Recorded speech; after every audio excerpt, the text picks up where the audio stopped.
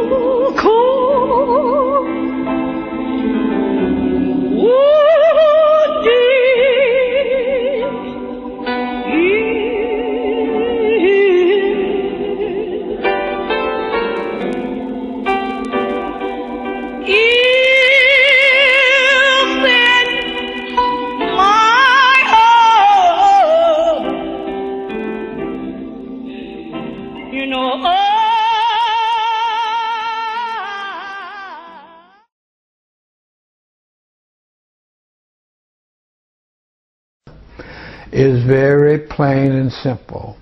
Is how long they try to hold on to the principles and theory and practices of white supremacy.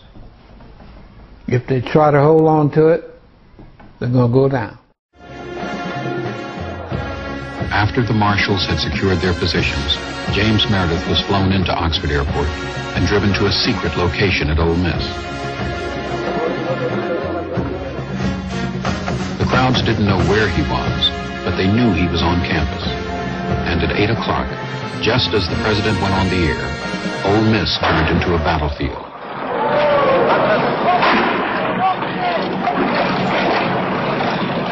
Very few people heard the president's words.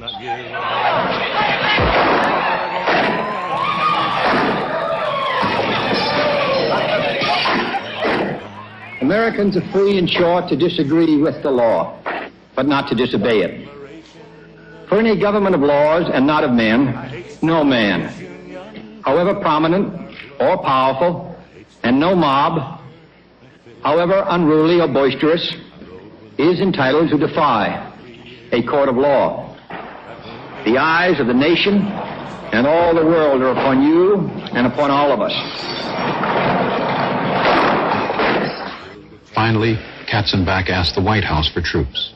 It took hours for them to arrive, and during the night, 35 marshals were shot, and two people, a French journalist and an Oxford worker, were killed. But by dawn, the army had restored order.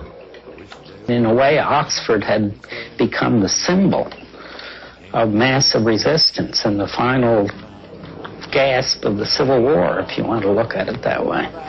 And it was over. It had ended. I'm glad I fought again. er, I only wish we'd won. I ain't asked any.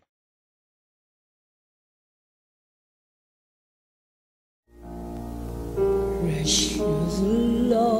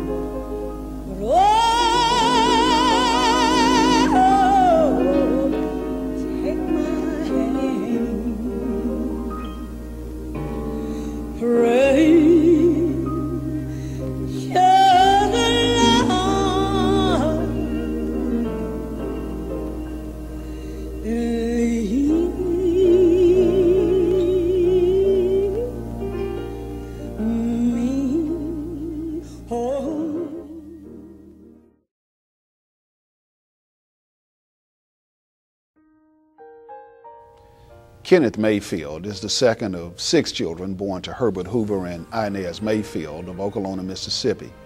When Kenneth was born, his father was working as a sharecropper on a farm in Pontotoc County. His father moved to Gary, Indiana, where he worked for the railroad until he died in an auto accident when Kenneth was nine.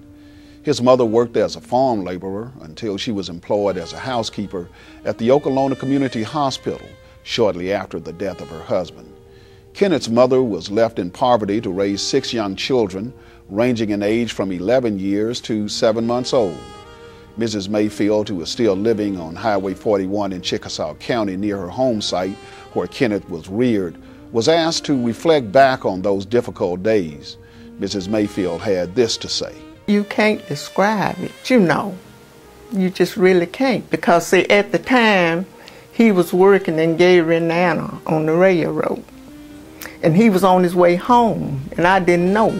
He had started home that Christmas, and the roads were so bad, he turned around, you know, and went back. And he started back on the 7th of January. Kenneth and his older brother Herbert had to grow up fast after the death of their father. Even before he was a teenager, he had earned a reputation of working like a man in the cotton fields in Pontotoc County. Kenneth later developed quite a reputation as a hay hauler in Chickasaw County, where he worked during the summers, starting when he was only 14 years old. It was during those years in the cotton and hay fields that Kenneth first had dreams of becoming a lawyer. Kenneth's best friend throughout the secondary school was Reverend Odell Bowen, who is a pastor of New Zion MB Church in Van Vleet. When asked to describe what he most remembers about Kenneth, he answered frankly. We went all the way through from second grade to um, 12th grade uh, in uh, high school together. And uh, we've been friends ever since. Matter of fact, at that time, uh, the only means of making a little money on the side was picking cotton. Uh, and old Mayfield was a cotton picker. and we uh, started a little paint business. Mayfield uh, drum up some jobs, and uh, we get together at night, you know, and we we do some painting.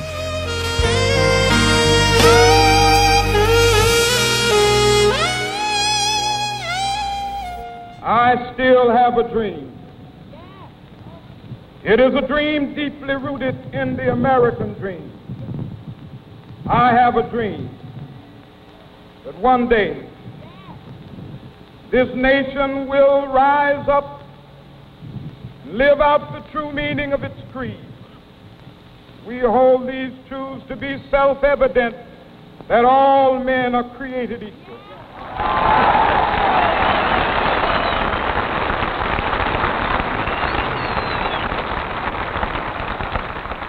On April 4th, 1968, Dr. Martin Luther King Jr. was assassinated in Memphis, Tennessee. Less than two months later, Kenneth graduated with honors from Fanny Carter High School, now Okolona High School, at the age of 16. After high school, he enrolled at the University of Mississippi with his mind set on graduating from Ole Miss and moving on to Harvard Law School. Kenneth maintained a good academic record at Ole Miss and became an honor student with a 3.7 grade point average during the fall semester of his sophomore year. Dr. Donald Cole, who is presently a professor and administrator at Ole Miss, was Kenneth's best friend when they were co-students at Ole Miss. I spoke with Dr. Cole and asked him to reflect back on those days. but it, 1968, a very good year. We were there as, a, as freshmen. Uh, and uh, it wasn't long at all before somehow we ended up as being uh, friends and uh, acquaintances. And of course, that would be natural because of the few uh, number of uh, blacks who were who were there. but that acquaintances quickly became to evolved into friendships, and that quickly evolved into good and best friendships. Kenneth was an excellent student. he had awfully good work ethic. Uh, and he uh, came there believing that he, uh, he could. I was able to, uh, to see the institution, in some sense, quote, wear him down to a, a certain level of doubt. Uh, but I also saw him you know, fall back on some parental strengths and, and values that sort of uh, kept him going. Although Ole Miss had been integrated by James Meredith in the midst of a riot in 1962, there were less than 100 blacks living on campus in 1968, and there were no blacks on the football or basketball teams or any other sports. Also, no blacks were employed as professors or in any other administrative fields. Kenneth was among the blacks who demonstrated on campus. Kenneth lost focus on his dream of becoming a rich lawyer and eventually participated in an uprising at Fulton Chapel that led to his one-year suspension from the University of Mississippi. Patsy Brumfield, who is presently a writer at the Northeast Mississippi Daily Journal, was a college student at Ole Miss working for the Daily Mississippian during the demonstration that led to Kenneth's suspension from school. I spoke with Patsy and asked her to reflect on Ole Miss as it was in 1970. I believe that those folks really understood that that was important and that they were not going to let that put a stain on their lives. And, uh, and they have become outstanding people, many of them, because of that. In September 1970, Kenneth transferred to Tougaloo College where he graduated magna cum laude with a BA degree in political science. Kenneth was accepted in the 27-month expedited law degree program at the University of Michigan in Ann Arbor, Michigan. In August 1973, he obtained his Juris Doctor degree at the age of 22. By the time Kenneth obtained his law degree, Donald Cole was working on his master's degree at the University of Michigan also. He was asked to reflect on the Kenneth Mayfield that he knew at that time. Kenneth was, was almost as if he was on a fast track. It's almost as if uh, he knew exactly where he was uh, going uh, and was a little undeterred from that. Uh, uh, he knew from, from coming in that uh, he wanted to be an attorney. and he knew what it took to, to become an attorney. and so he went straight for that. being a civil rights attorney, you almost have to work for a cause. You have to you know, work because it's uh, something that's, uh, if you will, that's a part of you, something that's in your heart, some, some, some moral values that you want to go on the straight, that you want to uh, see corrected, etc. and so, so him being a civil rights attorney was something that happened uh, as we were in college, it probably sealed it at that point. Maybe happened before then, but certainly sealed it at that point.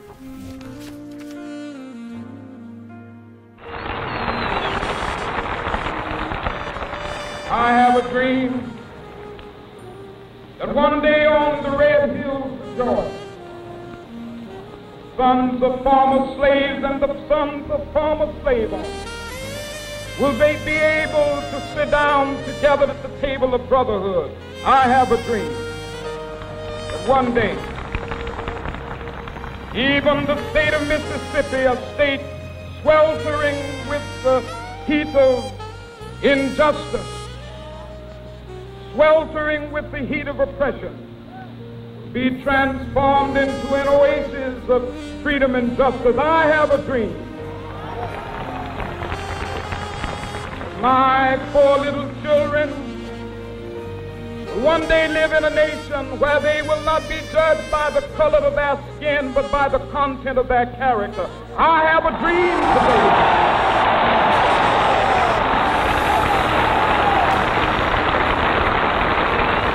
After graduation from law school, Kenneth Mayfield worked as an intern with the NAACP Legal Defense Fund in Jackson, Mississippi, in the law offices of Anderson, Banks, Nichols, and Leventhal for nine months.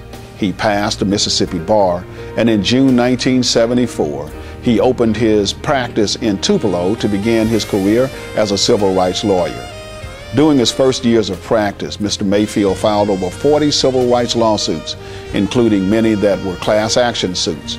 He was a voice for the disenfranchised citizens of North Mississippi who were being discriminated against or mistreated and courageously sued municipalities, police departments, factories, and many others. Fear was not a factor for Mr. Mayfield. Cliff Dixon was Mr. Mayfield's first civil rights client. So Kenneth and I decided we'll go down and visit the area. And that's when we found out that you had to go to the back door to purchase your Birch bus ticket. You had to go to the back door to eat. The Klan protest his office is because he he stands up for what's right. It didn't take Mr. Mayfield very long to learn that the practice of civil rights was not going to be very lucrative. However, he continued handling those cases because that was his passion, and he knew his services were needed.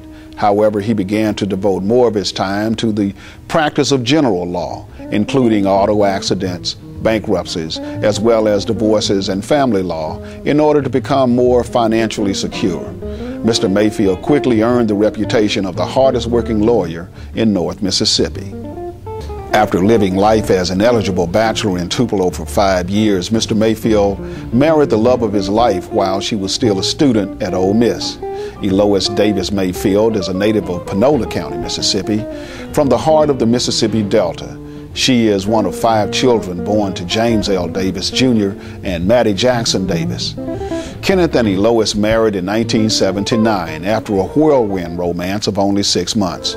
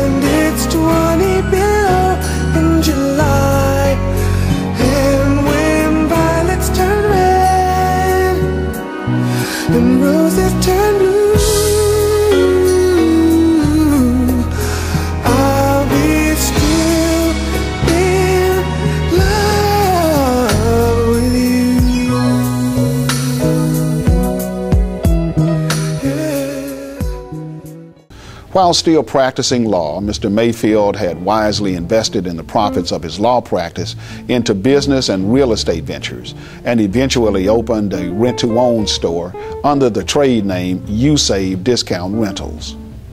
By 1988, the Mayfield family had doubled, and that meant double trouble at home. As a result of twins Kenneth Mayfield II and Dominique Mayfield, he needed every dime he could rake and scrape just to feed his newborns.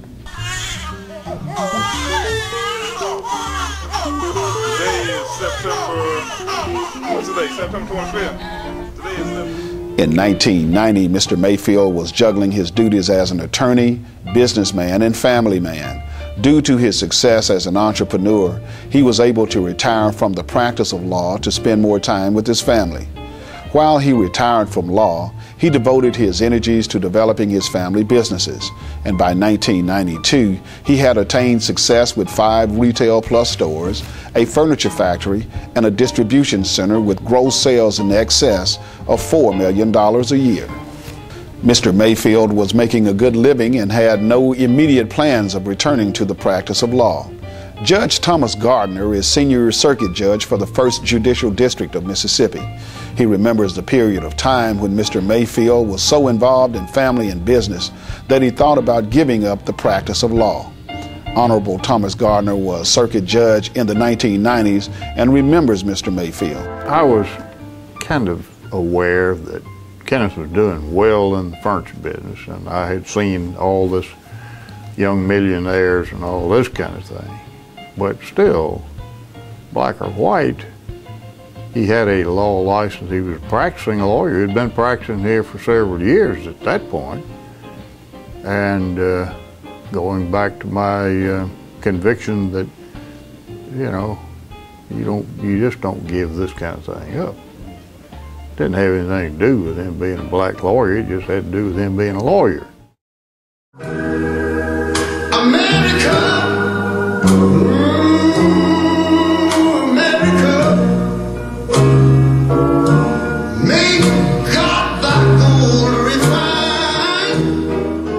By 1997, much of the dream that Dr. King had in 1963 had become a reality. The civil rights era that had brought Mr. Mayfield back to the state of Mississippi had become less of an issue. It's not that discrimination no longer existed, however, it's not nearly as prevalent.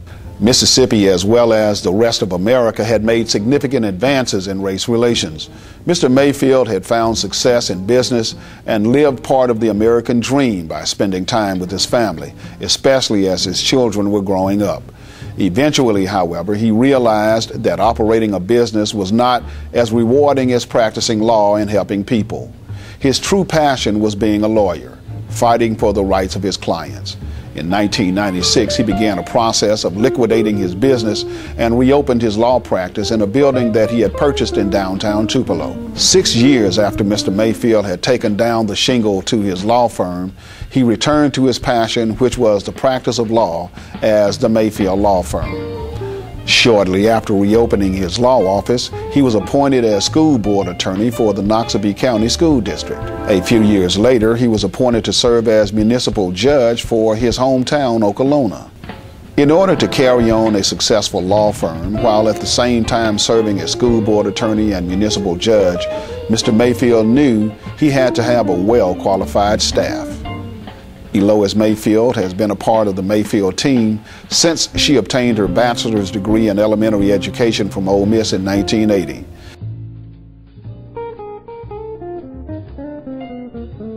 Mrs. Mayfield serves as firm manager and paralegal at the firm and also engages in several civic and community organizations and has always served side by side with Mr. Kenneth Mayfield in his various business and community interests. Mrs. Mayfield also serves as paralegal in charge of mass tort litigation. During the period after Mr. Mayfield reopened his law office, his firm grew to a staff of seven, including an office manager, two paralegals, a receptionist, a legal assistant, and a part time associate. The firm now handles auto accidents, bankruptcies, divorce and family, Social Security disability, and mass tort litigation cases. Both Mr. and Mrs. Mayfield have always placed great value on family, church, and community, and always strived hard within their own household to make sure that their children got a good education. Kenneth Mayfield II and Dominique Carroll Mayfield are now adults, and both have graduated from college. Kenneth II graduated from California State University with a Bachelor of Science degree in kinesiology and is pursuing his dream of becoming a Hollywood star. Dominique graduated from Ole Miss with a Bachelor of Arts degree in political science. She chose to follow in her father's footsteps by attending law school in the state of Michigan to become an attorney. Among others, Kenneth Mayfield founded the Committee for King and served as its chairman for over 20 years. He co-founded the Black Business Association of Mississippi. He founded WKIU radio station. He helped to organize First United Christian Church, where he served as its first church council president and musician. Hello, I'm Kenneth Mayfield. I hope you've enjoyed this short documentary that was based upon a book that I've written titled To Be Born Black in Mississippi. This book is an autobiography of my life from birth until the beginning of my civil rights practice. I'm in the process of completing a second book titled The Trials and Tribulations of a Civil Rights Lawyer. It's scheduled for publication in the fall of 2012. The first proceeds from the sale of my books will be used to support a scholarship fund for graduating seniors in Northeast Mississippi. I thank you for your support of this event as well as your support of this scholarship fund.